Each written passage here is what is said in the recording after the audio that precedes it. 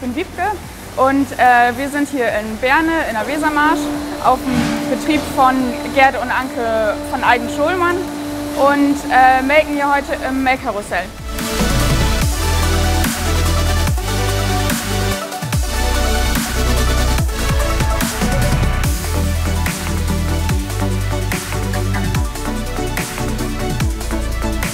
Also das Besondere am Karussell ist, ähm, dass die Kühe sich halt die ganze Zeit auf der Plattform in der Runde drehen. Am Anfang ist es schon Gewöhnungssache, weil man halt selber steht und alles andere sich bewegt, aber äh, man gewöhnt sich schnell dran.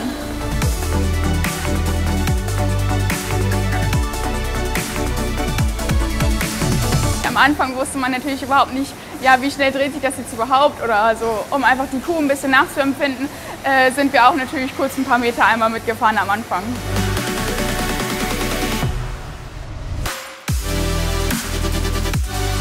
Das Gute am Karussell ist eigentlich, dass viele Kühe innerhalb kürzester Zeit alleine gemolken werden können, ähm, was halt bei größeren Herden sonst nicht so üblich ist. Aber besser ist es natürlich zu zweit zu melken, dann ähm, ja, ist ein bisschen mehr Ruhe im Karussell.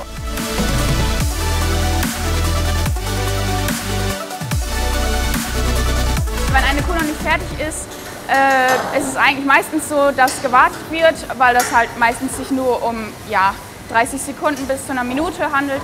Aber wenn man jetzt sagt, okay, die Kuh möchte ich nochmal ähm, genau unter die Lupe nehmen oder nochmal genau beobachten, ob sie wirklich ausgemolken ist, dann kann man auch die Türen umschlagen am Ausgang, sodass die Kuh halt noch eine Runde mitfährt.